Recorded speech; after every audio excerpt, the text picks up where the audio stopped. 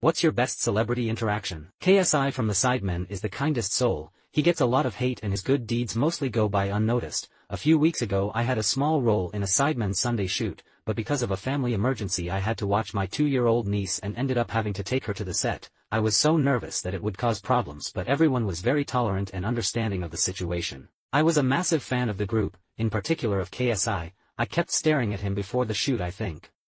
He noticed that I was doing it, after an hour my niece started to cry. I tried to quiet her down as I didn't want her to annoy anyone, you could tell Ethan and Josh were starting to get irritated by it, but she just would not stop and it got progressively louder. Eventually after a couple minutes of crying KSI came over and sat with my niece, asked what was wrong and sat her on his lap. I replied that she was probably stressed or hungry, she had not had any food for a while, so. KSI put down his phone, picked up my niece and lifted up his shirt and started breastfeeding her in the middle of the set, it really calmed her down, he was such a chill guy, really nice.